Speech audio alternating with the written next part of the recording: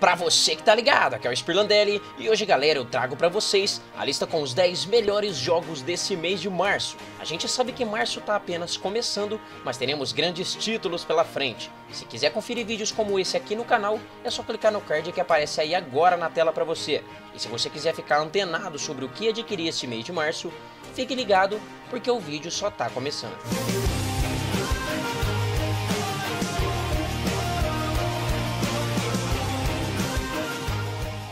Lançado no dia 6 de março deste ano, oficialmente para PC, temos Final Fantasy XV Windows Edition. Como muitos já sabem, o game já é magnífico nos consoles, porém no PC ele traz melhorias inéditas. Essa edição vai correr nativamente a 4K e terá compatibilidade para HDR10, galera. E se você tem um PC poderoso o suficiente, você vai conseguir rodar o jogo em 8K de resolução. É, jovens, isso mesmo. A edição Windows de Final Fantasy tem ainda suporte para mods, né, que inclui todos os DLCs anteriormente lançados para o game. Se você tem interesse nessa edição e quer saber se roda no seu PC, é só conferir aqui embaixo na descrição do vídeo que eu vou deixar para vocês aí os requisitos mínimos. Afinal de contas, é um jogo muito mais exigente do que o habitual.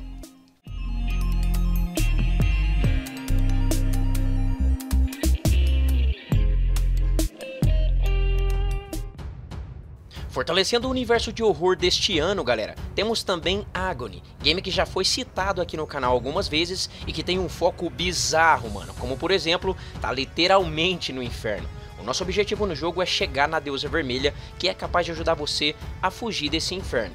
Agony tem data de lançamento prevista para o dia 30 de março deste ano, pessoal, e promete uma avalanche de feitos macabros dentro do game. E você vai poder jogar Agony no PC, no Xbox One e no PlayStation 4 também. Já falei bastante de Agony aqui no canal e vou deixar para vocês no card que aparece agora aí. Se você quiser saber mais sobre o game, é só clicar no card.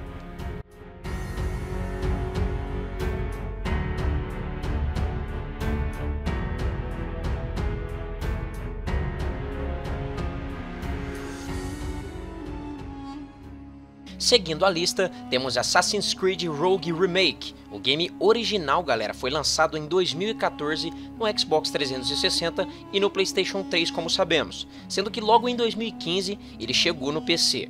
Para quem não sabe, Assassin's Creed Rogue se passa na América do Norte do século 18, pessoal, e conta com a história de Shay Patrick Cormac, um assassino que eventualmente né, se tornou um templário comprometido. E pelo que parece, o remake do game trará resolução Full HD nativa, jovens, sendo de 1080p, além do suporte para 4K no Xbox One X e no PlayStation 4 Pro. Assassin's Creed Rogue Remake tem data aí né, de lançamento prevista para o dia 20 de março deste ano para PS4 e Xbox One.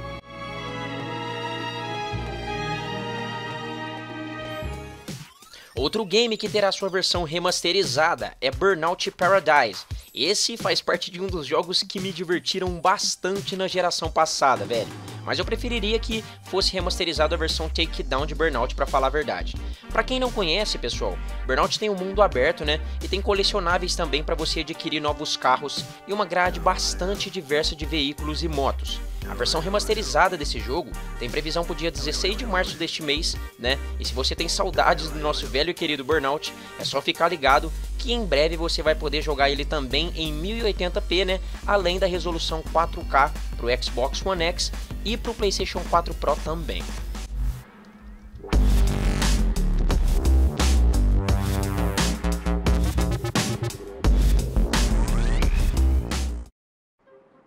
O próximo game da lista é Nino Kuni Revenant Kingdom. O game é uma sequência de Nino Kuni Wrath of the White Witch, pessoal, e está programado para ser lançado exclusivamente para PC e PS4.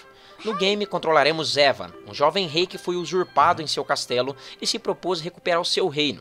Enquanto a gente navega livremente no mundo aberto do jogo, outros personagens também vão poder ser controlados durante as batalhas contra inimigos.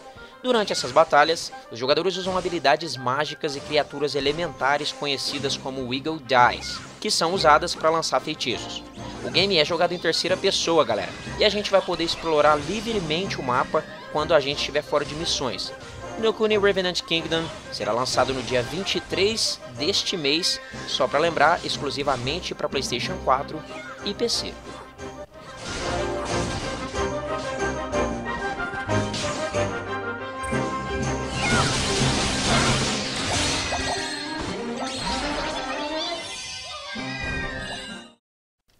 Fortalecendo a lista de remasterizações deste ano, temos Devil May Cry HD Collection, pessoal. A coletânea com os três primeiros games da franquia chegará em cópias físicas e digitais para PlayStation 4, Xbox One e PC também no dia 13 de março deste ano.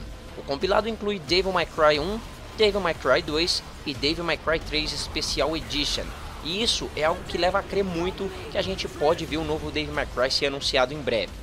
Lembrando que o game sairá para PS4 e Xbox One. This just keeps getting better and better.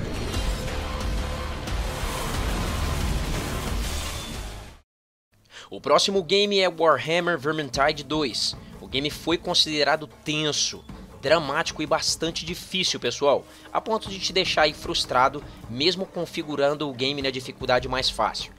Warhammer será jogado em primeira pessoa, tem gráficos belíssimos e uma jogabilidade bastante caprichada, além de um universo aberto. Apesar de tudo, o game preocupa por suas missões excessivamente longas e sua dolorosa dificuldade. Warhammer Vermintide 2 tem data de lançamento oficial para o dia de hoje, pessoal, e você vai poder jogar o game no PS4, no Xbox One e no PC.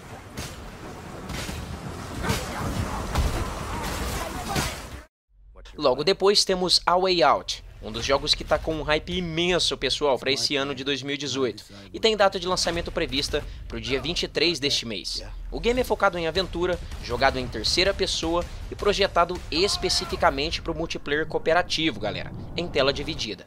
O que significa aí que ele deve ser jogado com outro jogador, né, através de conexão local ou online. No jogo, galera, os jogadores controlam Léo e Vincent. São dois prisioneiros condenados que devem sair da prisão e ficar fugindo das autoridades. Como a história de ambos os protagonistas é contada simultaneamente, seu progresso pode não ser sincronizado, o que pode resultar, né, em um jogador ser capaz de controlar seu personagem enquanto o outro está observando uma cutscene. No game, precisamos cooperar um com os outros para progredir, galera. E cada situação pode ser abordada de forma diferente, com ambos os personagens assumindo papéis diferentes. Por exemplo, durante uma cena de escape da prisão, um jogador precisa distrair o guarda, enquanto o outro jogador precisa encontrar uma ferramenta para ajudar a sua fuga. Esses papéis não são corrigidos, então Léo e Vincent podem trocar seus papéis em outro desafio. Os jogadores podem interagir com muitos personagens não jogáveis, e existem opções de diálogo para os jogadores escolherem. A Way Out será lançado para o PlayStation 4, para o PC e para o Xbox One no dia 23 deste mês.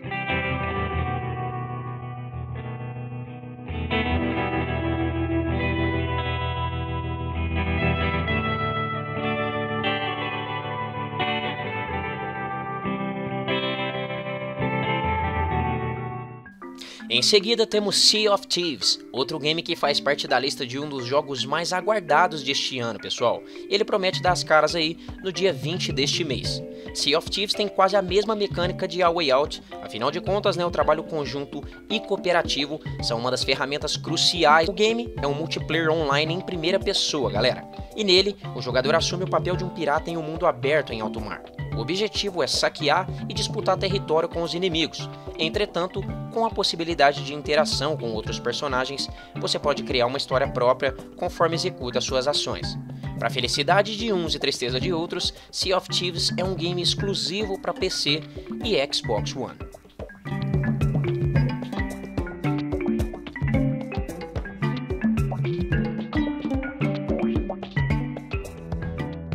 Encabeçando a lista dos jogos mais aguardados deste mês de março, e claro, sendo um dos mais aguardados deste ano de 2018, temos Far Cry 5, galera, que é bastante similar aos seus predecessores.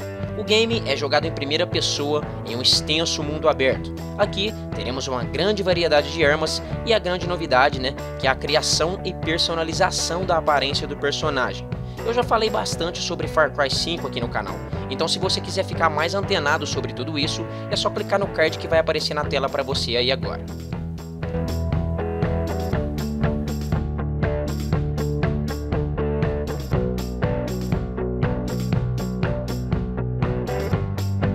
Então é isso galera, eu espero que vocês tenham gostado dessa lista que eu preparei, pelo menos para mim são os 10 melhores lançamentos deste mês de março, tanto para consoles quanto para PC. E fiquem ligados que todos os meses eu vou tentar deixar vocês todos antenados sobre tudo o que está rolando mensalmente no mundo dos lançamentos gamers, beleza? Se você gostou do vídeo, não se esquece de fortalecer com um like aqui embaixo e compartilhar com seus amigos para que eles também fiquem antenados sobre o que adquirir este mês. Um grande abraço a todos e tudo de bom sempre.